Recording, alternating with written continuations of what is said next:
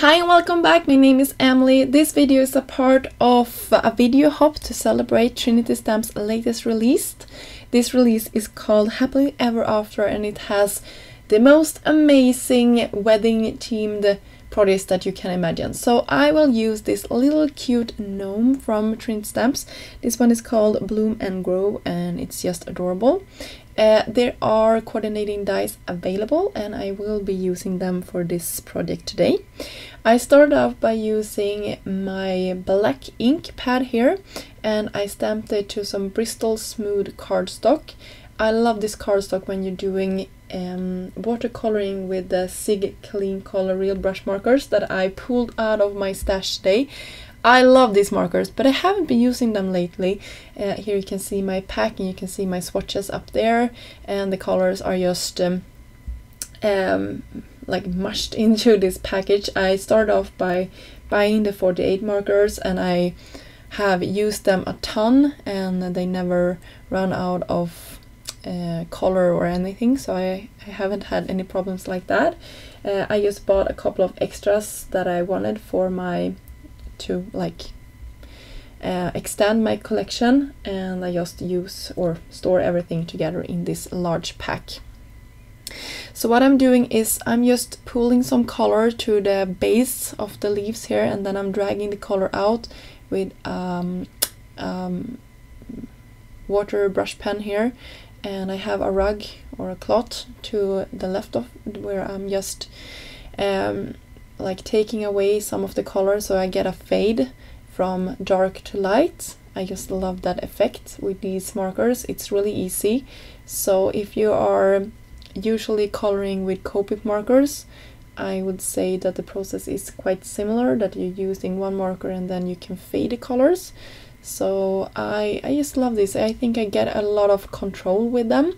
I like my Copics mostly because I get a good control but these are really similar and you get a good feel and you can just play around and have fun so you can see my colors are really springy and happy and I wanted to keep everything really like vibrant and fun uh, so I hope that uh, shows up in my projects today and you can also see that I am using the same colors on a couple of different elements in the scene just to connect everything. And for the face I think he looked a little bit too pale so I will go in with some gray markers. If I would do this again I probably will pull out more of a brownish color uh, but I went for the gray here because I had them laying on my desk uh, after creating the rocks and everything in my scene so I probably would change that if I would do this again and maybe just pull out a little bit more brown to this I think that had warmed warmed his face a little bit more. So you can see our scene here or our gnome and watering can and everything are starting to um, come together and here is how it looks. I also um, cut out the image as well as a couple of flowers. Here is a new slimline cover plate uh, that is a part of the newest release. This one is called Floral Twinkle and it's just beautiful in real life. I will have this like a focal point for my card so I'm just cutting out a portion of this and running it through my machine and here you can see how beautiful that is. Uh, it's really gorgeous and I wanted this to be behind my panel. So this is a cream colored cardstock that I will just use a circle from my stash and cut out a portion of this.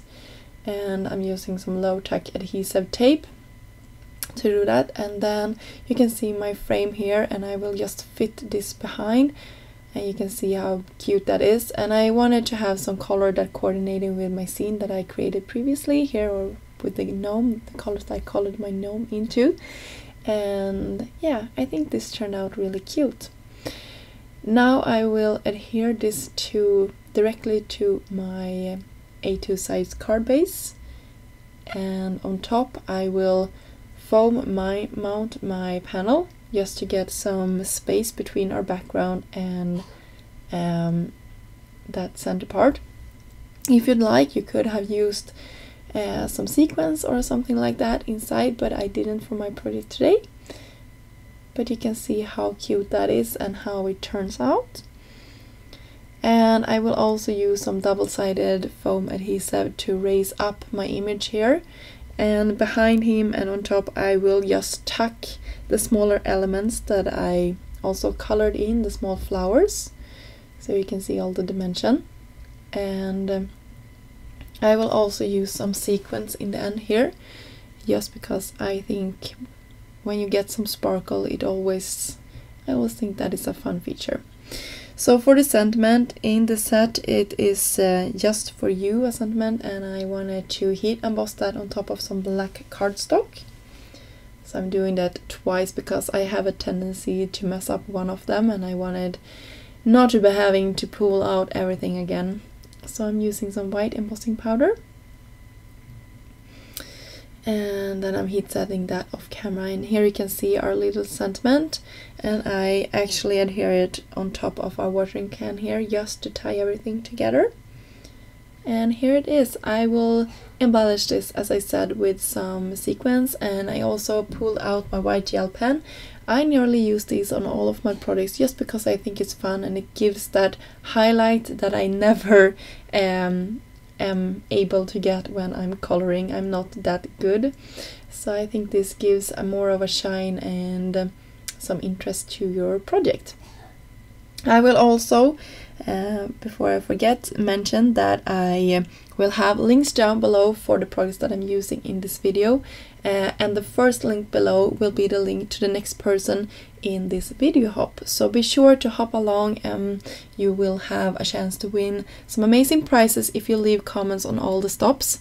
And um, if you like this video, all that does is to tell YouTube that you like this content and that you would like to see some more in the future.